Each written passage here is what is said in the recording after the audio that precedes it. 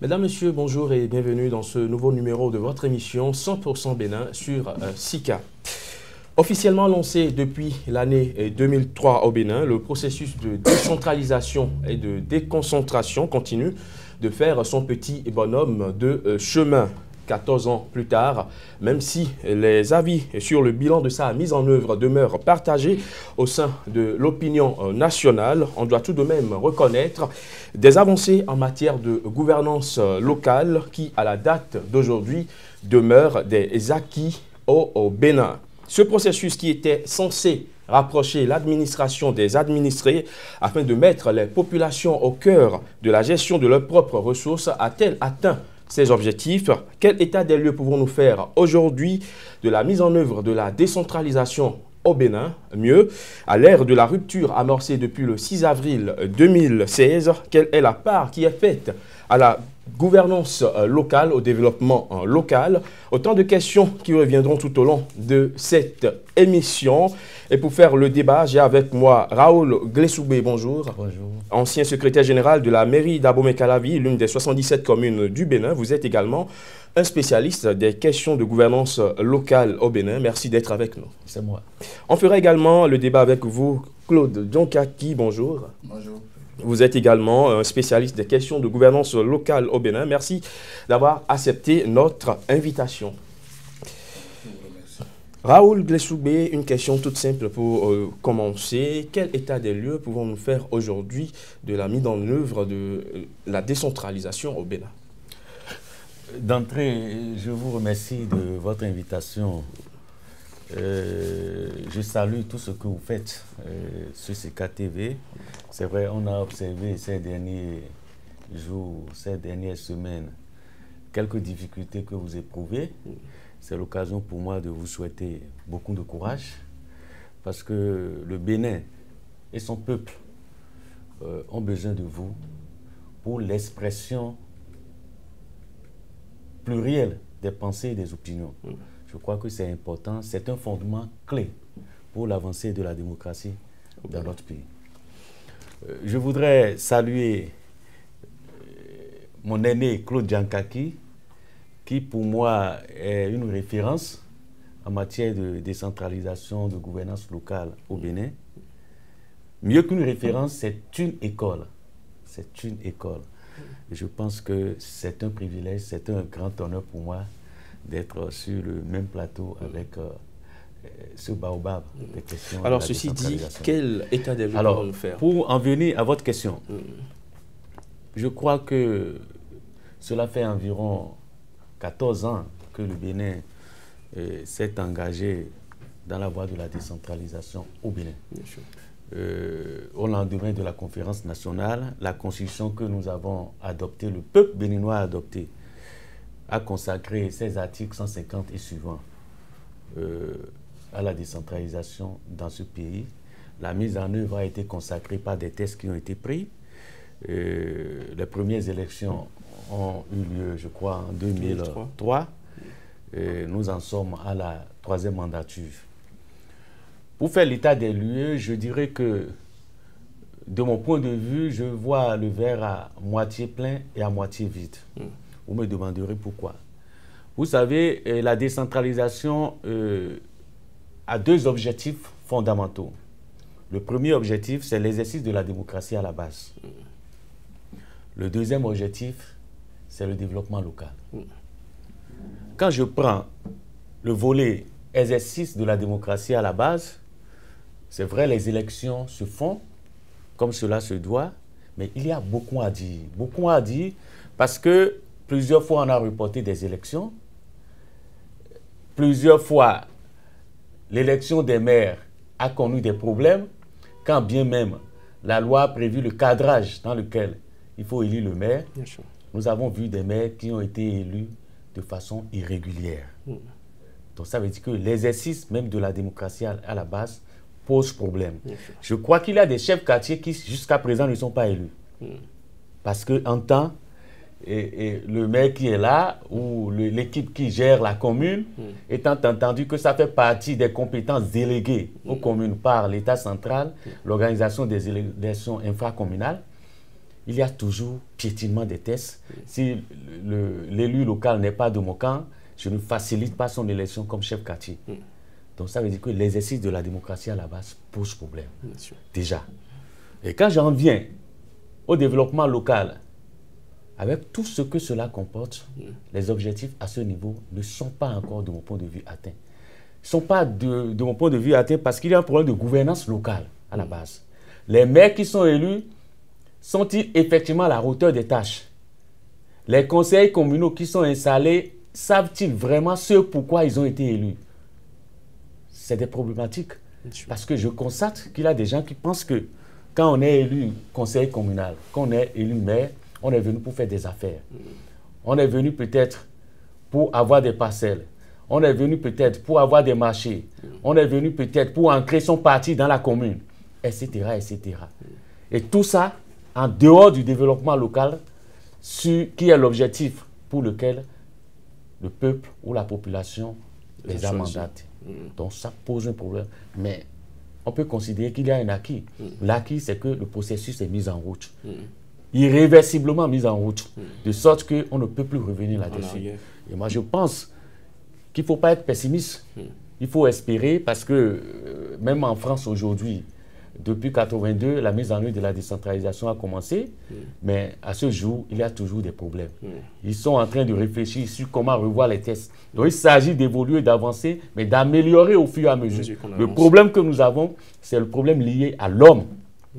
béninois, l'homme qui exerce le pouvoir local, l'homme qui prétend qu'il pouvait défendre les intérêts de la population, mais qui malencontreusement euh, euh, n'arrive pas, compte tenu de sa foi, compte tenu de, euh, euh, comment vous appelez ça, euh, de l'esprit qui l'incarne, qui n'arrive pas à atteindre cet objectif. Voilà.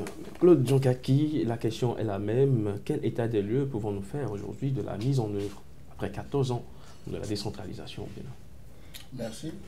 D'abord, je voudrais remercier mon jeune frère Raoul Bressoubé. C'est vrai, parler après un jeune comme lui, c'est un exercice difficile parce qu'il a tellement mis son temps à profit pour tout expliquer. Donc je ne ferai que quelques rajouts par endroit. C'est vrai, il a rappelé les deux enjeux de la décentralisation. Le premier enjeu, il a dit, c'est la démocratie à la base. Le second enjeu, le développement local. Mais en l'écoutant, on constate qu'on a privilégié l'exercice de la démocratie à la base au développement. Maintenant, pour comprendre et, répondre à la question posée, je dirais que la décentralisation, ce qui la caractérise, c'est l'autonomie. Et son corollaire, l'autogestion. Est-ce que aujourd'hui les communes sont gérées au regard des textes?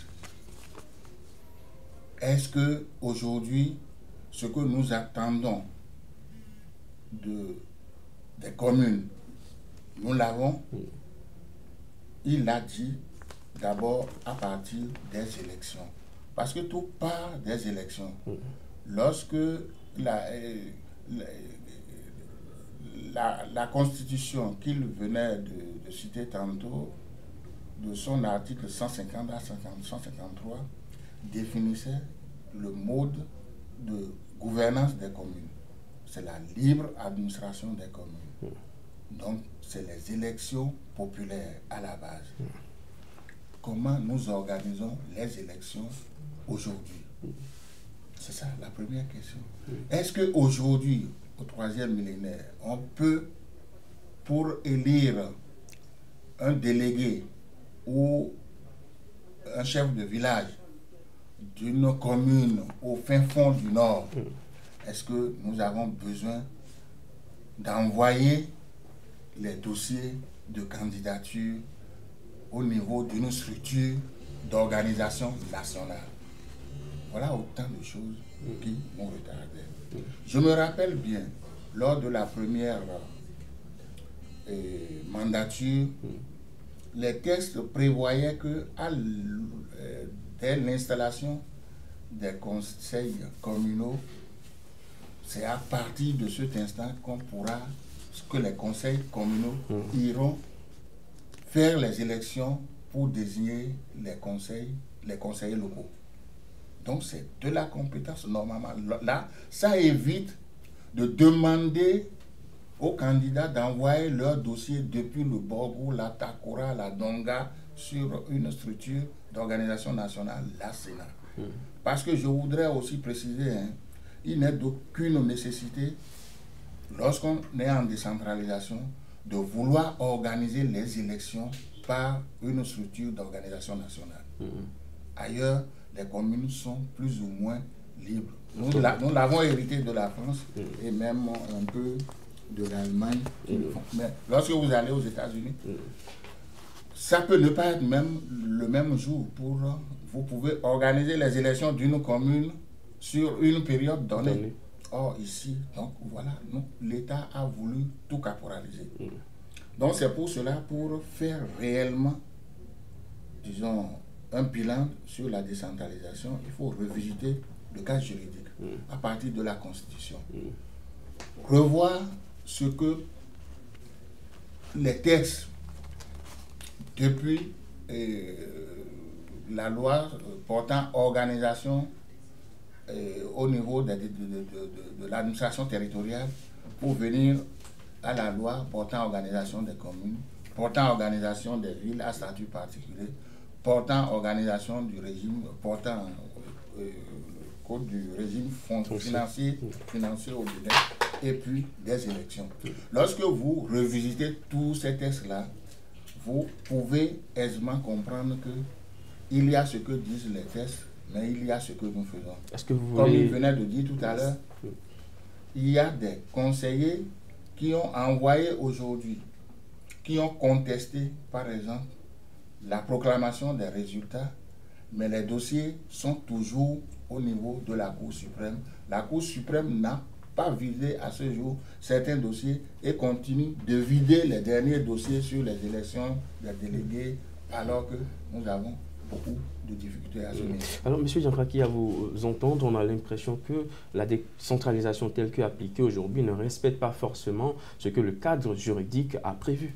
Tout à fait, c'est ce que je, je, je, venais de dire tout à l'heure. Parce que normalement, lorsque vous, la politique, euh, disons, joue beaucoup à ce niveau, lorsque vous élisez les, les, les, conseillers et, et, que les conseillers doivent être mis au vert, et puis bon, et, tout ce qu'ils feront, c'est sur la base de, ce que, disons, le système du parrainage a voulu, sur la base de ce que l'autorité qui a bien voulu décentraliser pour la forme, mais visiblement, lorsque vous voyez, disons, certaines pratiques, on n'est pas loin de la recentralisation. C'est pour cela, je dis, il nous reste quand même beaucoup de choses à faire. Et comme nous n'avons pas beaucoup de temps, on aurait beaucoup de temps, commencer à revisiter à déjà à partir de, la Constitution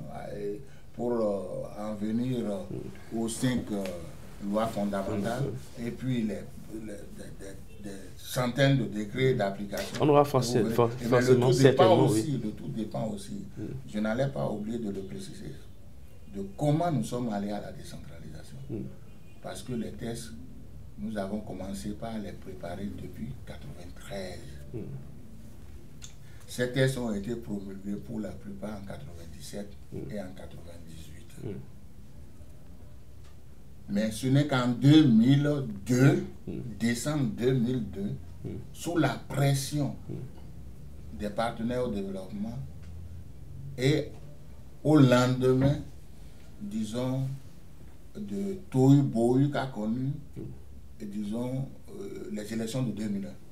Est-ce que vous voulez dire par là que les tests sont dépassés avant leur mise en œuvre?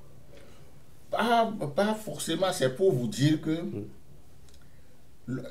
mais c'est vrai aussi, hein, mais parce que lorsque vous, vous prenez les textes et que vous avez peur de les appliquer, à l'application, vous pouvez constater beaucoup de faiblesses. Donc, c'est ce que je disais. Donc, le pouvoir central qui voulait de la décentralisation, qui était une recommandation de la conférence nationale de 90, 90, non Regardez avec moi, c'est 12 ans après qu'on est, est allé. Mais pourquoi ce tâtonnement Donc ça veut dire qu'on est toujours en train de chercher bon, par quel euh, bout donner le, le, le mouton et, continuer de garder la corde. Continuer de garder la corde. Alors, euh, euh, Monsieur Glessoubé, est-ce que vous aussi vous avez l'impression là que l'État central a donné le mouton et continue de garder la corde? Est-ce que 14 ans plus tard, est-ce qu'on peut dire que la gestion à la base, la gouvernance à la base est une réalité? Bon, je crois que c'est, il faut relativiser, il faut relativiser parce que la loi elle-même a prévu euh, le carnaval dans lequel euh, pourraient s'exercer les compétences des communes. Il a des compétences qui sont propres aux communes, il a des compétences qui sont déléguées, il a des compétences qui sont partagées. Bon, lorsque je, vois, je prends les compétences qui sont propres, il a des compétences pour lesquelles l'État doit transférer les ressources. Par exemple, construction des écoles, euh, des centres de santé, etc il a été prévu par le législateur que l'État transfère les ressources. Mais ce transfert des ressources s'opère difficilement. Parce que, comme le disait le, président Djankaki, c'est que euh, euh, l'État se comporte comme n'ayant pas confiance aux élus des populations. Bon, est-ce que ceux qui sont là, c'est vrai, il y a des problèmes de gouvernance par ailleurs dans la gestion des collectivités locales aujourd'hui. Il y a des problèmes de gouvernance, euh, problèmes sur lesquels il convient que l'État interviennent pour maintenir l'autre. Parce que, euh, moi je dirais au passage, on ne peut pas promouvoir la bonne gouvernance au plan national et sous-estimer la, la, gouvernance qui est entretenue dans les collectivités locales. Mm. Parce que les populations, les usagers sollicitent plus l'administration locale que l'administration centrale. Ouais, les problèmes de, des affaires domaniales, les problèmes de gestion d'état civil, cas identité, etc. Les populations sont le plus souvent victimes de ce qui se passe au plan local mm. qu'au plan national. Parce que les populations voient de loin les ministères, etc. Mm-hmm. Donc, il a des problèmes de gouvernance. Mm. Mais cela ne justifie pas qu'on ne transfère pas les ressources. On peut transférer les ressources et mettre le mécanisme en place pour assurer un bon contrôle de gestion. Mm. S'il y a mauvaise gouvernance, l'État est là pour sanctionner. Les institutions sont là pour sanctionner. Donc, de mon point de vue, Lorsqu'on se réfère à, l'exercice de ces compétences, on peut se dire que l'État donne le mouton, mais continue de garder, la corde. Mm. Mais le problème est plus profond que ça. Mm. Le problème tel que le président Diakaki l'a dit, il faut revisiter les tests. Mm-hmm. Il faut revisiter les tests. Moi, je dis, euh, en l'espèce, déjà parti de la constitution de notre pays. Quand moi je fais l'exercice de lire les dispositions, euh, les articles qui sont consacrés, je crois que ça doit être trois articles mm. qui sont consacrés à la gestion des collectivités locales, territoriales. Mais ailleurs, c'est des problèmes qui sont réglés par la Constitution. Mm. Quand je prends l'exemple de la France, dans la Constitution, il a été prévu que l'État transfère systématiquement les ressources mm. pour les compétences que les collectivités locales doivent exercer. Je crois que ça doit être, si ma mémoire est bonne, l'article 11 de la Constitution française sauf erreur de ma part. Ça veut dire quoi? Il n'est pas question que l'État contourne cette disposition. L'État est obligé. Et c'est ça qui fait d'ailleurs que, en France, vous verrez que chaque institution a des compétences en matière de gestion des collectivités territoriales. Quand vous voyez les régions, les régions, il y a les compétences que les régions doivent exercer c'est les compétences de programmation, de formation professionnelle, etc. Quand vous prenez les départements, c'est les compétences de solidarité, de, du volet social. Quand vous prenez les communes, c'est les compétences de proximité. Mm. De sorte que chaque entité sait ce qu'elle doit faire. Mais aujourd'hui, il y a un mélange. Mm. Bien que les tests aient prévu et le mécanisme par lequel le transfert doit s'opérer, mm. l'État continue de biaiser parce que l'État ne fait pas confiance à la gouvernance qui est entretenue dans, les collectivités. L'État ne fait pas confiance aux élus qui sont mis en place. La plupart du temps, si le maire n'est pas de mon bord, si le maire ou les conseillers qui influents ne sont pas de mon bord, il faut se comporter de sorte qu'ils ne réussissent pas le mandat. Ça, c'est le volet politique. au mépris, au mépris des tests, au mépris des tests, au mépris des tests. Donc, il faut absolument revisiter les tests, mais que chaque parti joue sa partition. L'État a pour rôle de transférer les ressources pour les compétences qui sont propres aux collectivités locales. Les collectivités locales ont l'obligation de gérer ces ressources en bon père de famille. Parce qu'il y a des auditeurs qui passent tous les ans. Lorsque vous gérez mal, vous êtes appelé à, en répondre. Bien sûr. Voyez-vous. Donc l'État n'a pas à se cacher derrière le paravent de mauvaise gouvernance, le paravent de je voulais que tel soit mais il n'est pas, et puis la population a pris quelqu'un d'autre, il ne faut pas qu'il réussisse. Donc ces considérations doivent être reléguées au dernier plan pour voir l'intérêt de la population qui veut un mieux-être. Alors, euh, Monsieur Djankaki, euh, est-ce qu'on peut dire, est-ce que c'est votre point de vue également, que euh, l'absence des transferts de compétences a sérieusement handicapé la gouvernance locale ces 14 dernières années au Bénin? D'abord, je crois que ce que venait de dire M. Raoul Gressoué est vrai. Mais je dois préciser que nous sommes dans le cadre d'un seul niveau de décentralisation au Bénin. Mm. L'exemple qu'il venait de donner montre qu'ailleurs, même au-delà de la France et dans beaucoup de pays d'Afrique, que la décentralisation est déjà à deux ou trois niveaux. Mais nous, nous avons opté pour un niveau de décentralisation et un niveau de déconcentration. Il faut d'abord faire cette précision-là. Néanmoins, ce qui caractérise réellement, disons, la décentralisation, c'est la gestion des affaires locales. Tout ce qui est affaires locales, c'est au niveau de la commune dans le cadre d'un certain nombre de niveaux de décentralisation, mm. là, effectivement, comme il a dit, la, la, région est compétente pour faire ci, le département est compétent pour faire ça. Mais là, nous sommes dans le cadre d'un niveau de décentralisation. Mais ce niveau de décentralisation, ce qui fait que nous ressentons un certain nombre de difficultés ou de faiblesses, c'est aussi lié au fait que nous n'avons pas opéré une classification des communes et savoir les missions, les attributions à donner. C'est-à-dire? C'est-à-dire, voilà, nous sommes, nous avons 74 communes de droit ordinaire, 74.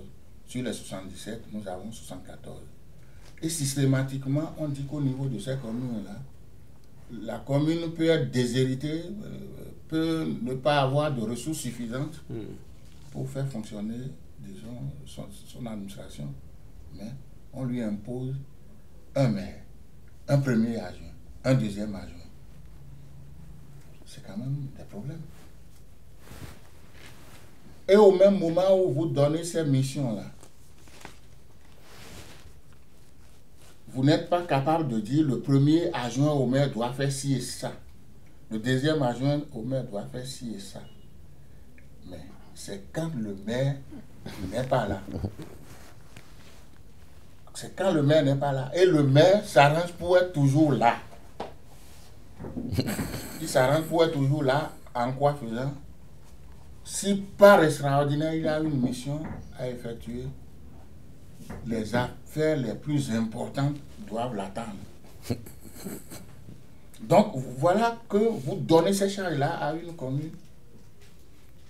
Vous, vous lui imposez pratiquement son mode d'organigramme, mais qui ne sert à rien. Parce que même il y a des fois où le deuxième adjoint au maire ne, ne pourra rien faire parce que si le maire est absent, c'est dans l'ordre de préséance que l'intérim du maire est assuré. Il est là pour, je parle sous son contrôle.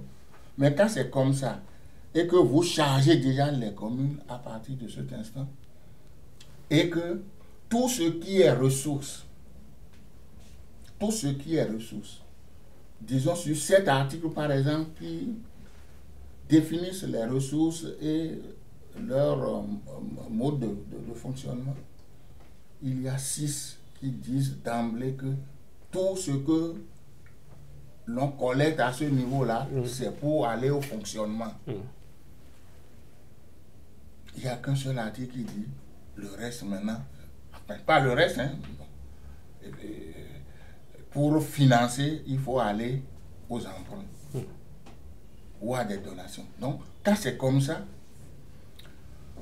vous, vous avez beau dire, bon, voilà, c'est pour le développement. Mais le développement se fera comment? Donc, le développement ne peut pas se faire seulement sur la base des transferts de compétences, comme il venait de le dire. Mais à un moment donné, l'État même dit, bon, transférer ces ressources, c'est les envoyer dans un tonneau de, de Danaïde, donc c'est un tonneau sans fond. Donc, euh, c'est la raison qui sous-tend le comportement de l'État. Parce que on a comme l'impression, l'État qui dit eh, ils n'ont pas assez de cadres pour faire ci, pour faire ça. Mais l'État ne les aide pas à avoir le cadre propice pour faire du développement. Donc l'État a bien voulu que ce soit les siens qui soient à ce niveau et que pratiquement tout sera dicté.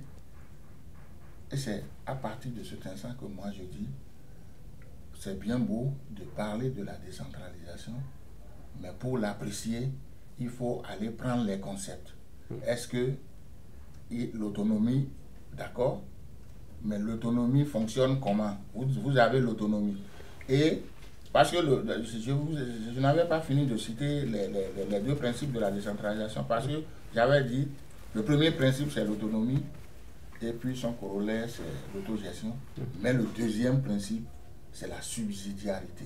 C'est-à-dire, vous ne pouvez pas ne pas faire à la base ce qui pourra être fait à la base. Hmm. Si c'est de la capitale que vous allez quitter, pour aller régler les problèmes au niveau de la base, hmm. ça ne marchera pas. Hmm. Or, c'est ce que nous avons vu hein, depuis un certain temps, surtout sous l'Ancien Régime. Sous l'Ancien Régime. Hmm. J'étais ahuri de voir, bon, les ministres disent qu'ils sont venus pour recenser les doléances des populations. Alors que, et généralement, les communes euh, qui sont réputées du bord de l'opposition, bon, les microcrédits, par exemple, on ne va pas les octroyer à, ces niveaux. Donc, quand c'est comme ça, il y a problème.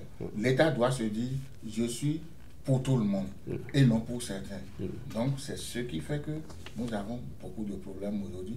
Et l'État, c'est vrai, je, comprends, parce que il y a ce qu'on appelle euh, en politologie euh, euh, la, le phénomène de transposition de responsabilité. C'est-à-dire que l'État qui est là veut que tout ce qui se fait à la base, que ce soit en chantant son nom, mm.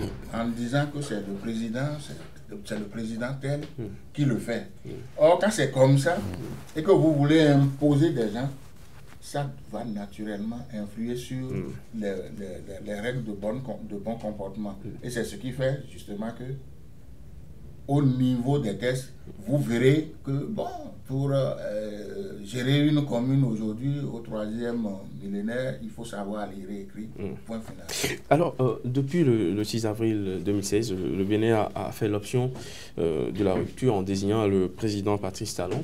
Le nouveau gouvernement s'est même doté d'un programme d'action. Est-ce qu'on peut dire, au regard des dix premiers mois de gouvernance et du programme d'action euh, que euh, la décentralisation au Bénin a de beaux jours euh, devant elle, M. Grissoubé Bon, moi, je, je crois que n'étant pas dans le secret de la gouvernance étatique, n'étant pas non plus dans le secret de la gouvernance locale, je ne peux que opiner en fonction des tests.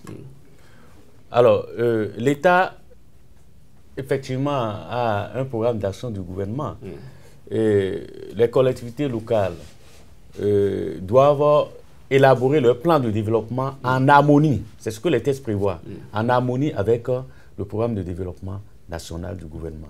Donc c'est une exigence. Ça veut dire que tous ceux qui éventuellement n'avaient pas élaboré leur PDC, ou ceux qui voudront élaborer, j'entends les, les, les, communes qui voudront élaborer leur PDC après le programme d'action du gouvernement, doivent élaborer ce PDC-là en harmonie avec ce programme, au regard, au regard de la vision que le gouvernement a pour le développement de la commune. C'est clair. Donc, ça veut dire que c'est une exigence euh, des tests. Mm. Deuxième chose que je voulais dire, et là, je fais référence à, l'article 86 euh, de la loi 97-029 mm. portant organisation des communes, mm. Qui dit clairement la commune donne son avis sur la tranche communale du plan national de développement ainsi que sur les projets concernant les investissements publics à caractère régional ou national à réaliser sur son territoire elle est partie prenante aux procédures et aux opérations d'aménagement du territoire pour ce qui concerne son ressort territorial. Ça veut dire quoi? Le programme d'action du gouvernement qui a été adopté par le gouvernement, s'il a des tranches d'exécution qui concernent une collectivité locale, ce n'est pas du sommet qu'il faut venir exécuter. Il faut en amont, associer les autorités de la collectivité intimement, déjà, aux différentes procédures de mise en œuvre de cette tranche qui concerne le territoire, impliquer ces autorités dans l'exécution de cette tranche. Vous voyez? Mieux, il faut que le conseil communal concerné donne son avis. Admettons, vous voulez construire un stade dans une commune. Le gouvernement a prévu de construire un stade dans une commune. Il faut que la, collectivité soit saisie pour donner son avis sur ce programme. Alors, au, regard des dix premiers mois de, ce gouvernement, vous avez l'impression que nous, nous en sommes là C'est trop tôt de le dire. C'est trop tôt de le dire. Parce que euh, euh, dix mois, on n'a pas constaté de mise en œuvre déjà euh, du programme d'action du, gouvernement. Après dix mois.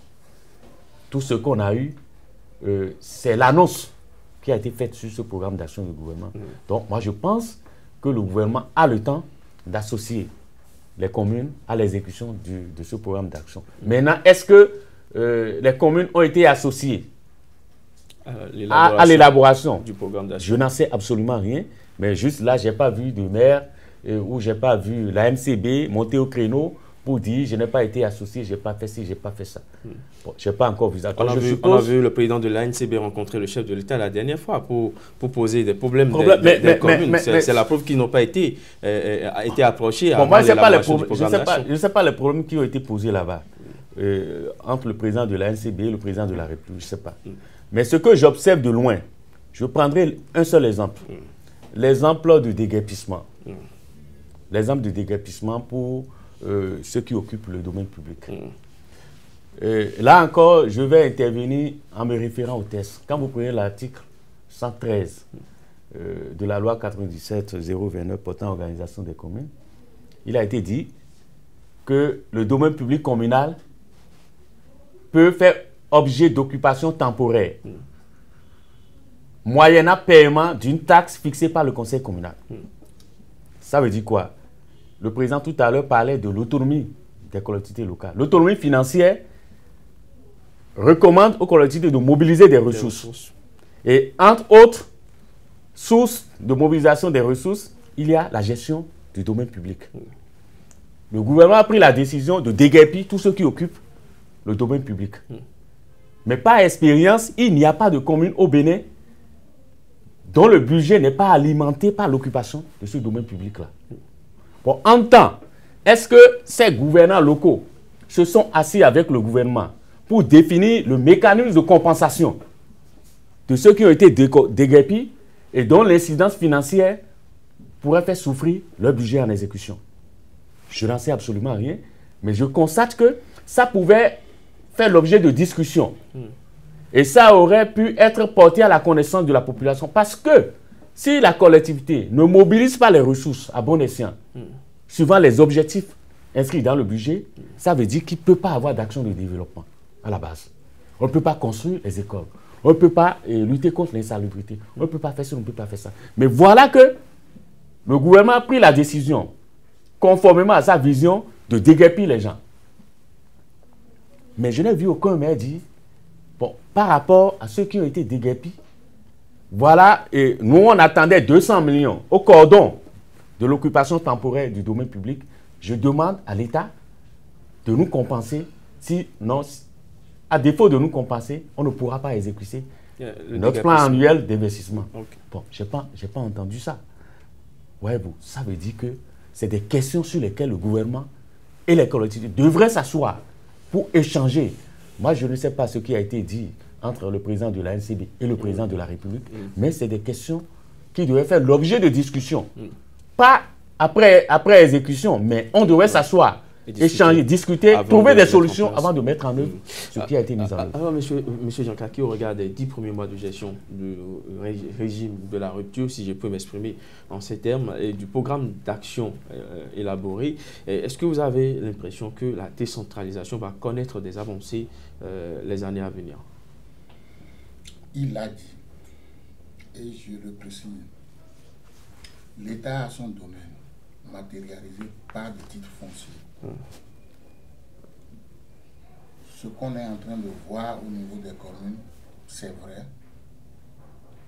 Vous allez voir d'ici à là. Les communes auront tellement de problèmes que je ne les vois pas payer même Le salaire. le salaire. Ah oui, parce que tout est assis sur ça, sur l'occupation temporaire. Donc vous ne pouvez pas rejeter du jour au lendemain l'occupation temporaire. Pour en faire quoi? Et ça va rapporter quoi? Tout le monde est d'accord pour l'embellissement.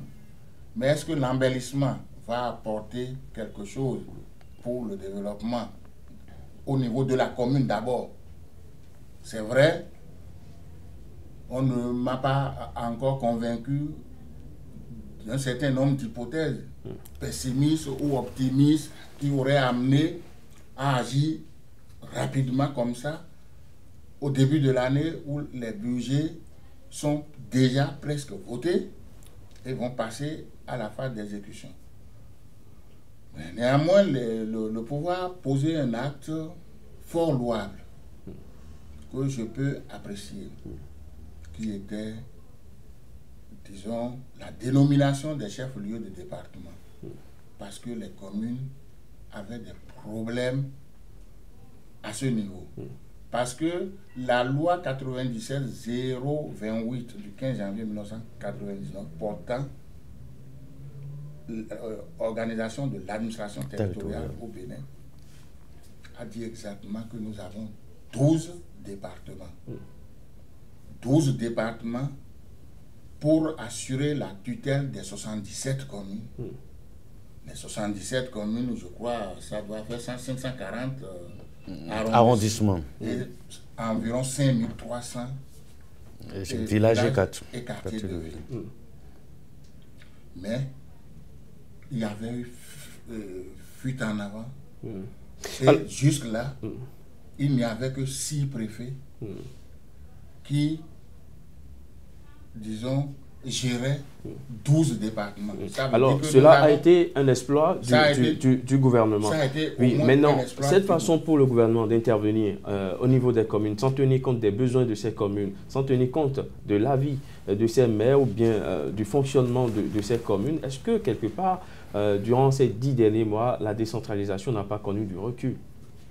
Quand on voit la chose de cette façon. Oui, si on monte aux, dix derniers, euh, aux- dix derniers mois, on peut le dire parce que d'abord, la méthode qui, disons, a étonné tout le monde, qui était d'aller, disons, anéantir les ressources devant alimenter les caisses des communes, provenant, disons, de, de- des domaines. Enfin, il faut se le dire, c'est des- Domaine public. non, D'abord, par excellence communale. Oui. C'est un domaine communal. Et je vous, c'est pour cela que je vous ai dit que ce qui est public à Cotonou ici, hein, c'est d'abord les comités de lotissement. Après lotissement, après avoir défini les coefficients de réduction, ont bien voulu donner quelque chose pour la commune, c'est-à-dire pour construire les, les, infrastructures socio-communautaires. Donc, c'est pour ça qu'on parle de domaine communal. Et je vous ai dit, les domaines de l'État, par exemple, c'est matérialisé par des titres fonciers. À Cotonou, par exemple, il y a un répertoire des titres fonciers qui vous montre les domaines sur lesquels l'État, disons, à ses, à droits. À ses droits. Mm. Maintenant, ce que venait de dire tout à l'heure mon collègue, c'est mm. que mm. il y a d'autres domaines maintenant, après recasement et tout ça là, qui sont laissés euh, au niveau des communes pour, euh, disons, euh, faire l'objet, par exemple, de ces genres de transactions pour pouvoir... Pour que les, communes puissent renflouer leur caisse. Ce qui puis c'est temporaire. La, la, commune peut à tout moment demander. Mais aujourd'hui, le problème qui se pose, et il l'a si bien dit, c'est que on devrait amener les communes à intégrer ça dans leur, euh, euh, dans leur plan de mobilisation de ressources et non quitter, comme je vous ai dit tout à l'heure, la, règle de la subsidiarité. C'est de régler les problèmes là où ils se posent. Mais si c'est l'État central qui doit quitter le haut pour, pour, aller régler à la base. les, les, les pour régler les problèmes à la base, il se pose un problème d'autonomie. Hmm. Alors, nous, sommes presque à la fin de, cette ah, émission. Oui. Hmm. Euh, euh, avec, nous avons connu aussi des séries de destitutions enregistrées et depuis le 6 avril dernier, euh, quelque part, est-ce que vous n'avez pas l'impression que la politique, ces dix derniers mois, a pris le pas sur le développement local? Bon, écoutez, je, vais vous surprendre. La, question de destitution des maires ne date pas de, du mandat de, de l'actuel gouvernement. C'est vrai, si on doit observer... Est-ce que la chose n'a pas pris de l'ampleur? Non, attendez. Prendre de l'ampleur, il faut relativiser. Parce que si on cherche à voir le gouvernement dans euh, ce talent. Moi j'ai un élément qui prouve que le gouvernement n'est pas forcément impliqué dans les crises de destitution. Mm. Je prends euh, l'élément que j'ai, c'est la commune de Dija. Le maire qui a été destitué est un produit du gouvernement actuel. Vous voyez? Mais je n'ai pas observé le gouvernement faire quelque chose pour empêcher sa décision. Du, moins apparemment. Du moins apparemment. Donc ça veut dire que euh, c'est un indicateur qui prouve que le gouvernement n'est pas forcément impliqué dans les crises de décision.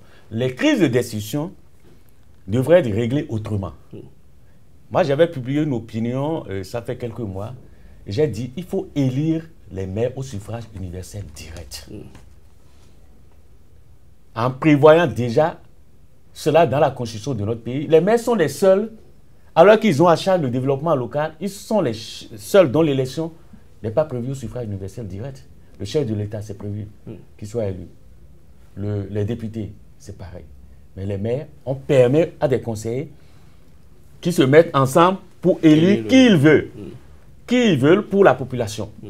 Une, une, une liste peut sortir majoritaire des unes, mais devenir cette liste peut devenir minoritaire après l'élection du maire et de ses adjoints. Ça pose un problème. Alors, c'est ça qui ouvre la boîte de Pandore où il y a toute forme de dérive. Si le maire était élu au suffrage universel direct, ça veut dire que pour être destitué, il faut encore qu'il soit destitué au suffrage universel direct. De sorte qu'on n'observe pas. La procédure de destitution peut commencer par le conseil communal pas la crise. Mais il reviendra à la population qui a élu le maire au suffrage universel direct d'entériner cette décision, ce qui n'est pas le cas. Lorsque des conseils sont là et que peut-être ils veulent des marchés, et le maire n'arrive pas à leur donner des marchés. Lorsque des conseils sont là, ils veulent voyager avec le maire, ils n'arrivent pas à voyager avec le maire. Alors, on s'organise, on dit le maire j'ai mal. Parce que les crises de décision que moi j'ai observées, je n'ai pas vu la preuve, une seule preuve de mauvaise gouvernance, juste là. Peut-être que je, ne sais pas ce qui se passe, mais j'ai passé mon temps à lire les journaux, j'ai passé mon temps à me renseigner, mais je n'ai pas vu une preuve avérée de mauvaise gouvernance. Mais la plupart du temps, on, dit, on vous dira que le maire fait de communication personnelle, on vous dira que le maire fait ci, le maire fait ça, mais ça suffit pour destituer. Parce que la crise de confiance est politique. la crise de confiance, parce que la loi, je crois, l'article 53, 53, qui prévoit la, crise de destitution, dit en cas de désaccord et de crise de confiance, les conseillers peuvent destituer le maire mm. par vote de deux tiers. Mm. Mais sans préciser les, ce qui pourrait faire objet de désaccord. Alors que pour l'article 55, qui parle de faute lourde, il a été prévu de façon exhaustive ce qui pourrait constituer la faute lourde, susceptible de, de suspendre le maire et au mieux des cas, le révoquer en Conseil des ministres. Merci. Donc ça veut dire qu'il faut revoir le mode de désignation des maires. On aimerait tellement continuer avec euh, euh, ce débat. Merci à vous d'être passé sur le plateau de cette émission. Le temps ne nous a pas suffi, euh, visiblement. Raoul Glessougbe, Claude Jankaki, tous deux spécialistes des questions de gouvernance locale. Merci d'être passé avec nos, vos différents points de vue. On aura l'occasion de revenir amplement sur des sujets de décentralisation sur ce plateau de CICA TV. Mesdames, Messieurs, ce sera tout pour aujourd'hui. Merci d'avoir été des nôtres. Très bonne suite des programmes sur euh, SICA.